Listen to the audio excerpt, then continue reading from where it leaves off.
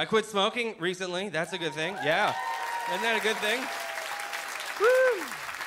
It's amazing how much people hate smokers. It's the only addiction that people hate.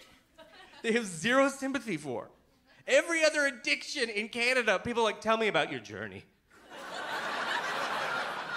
What, what's your addiction? I'm a heroin addict. Well, come inside from the cold, friend. We have a safe injection site and free needles. Do you want the Wi Fi password? What about you? I'm a smoker. Get the hell out of here! Nine meters from the door, asshole! People are trying to shoot smack in here. Take it out! There's some kids in my uh, neighborhood at the high school by my house who are getting busted vaping in the bathroom. what a piece of shit. No good rebellion. Vaping?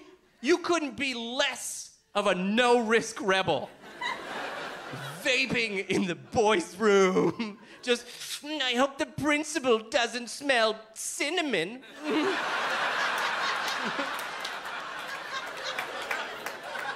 He's walking around out there like, is somebody making muffins?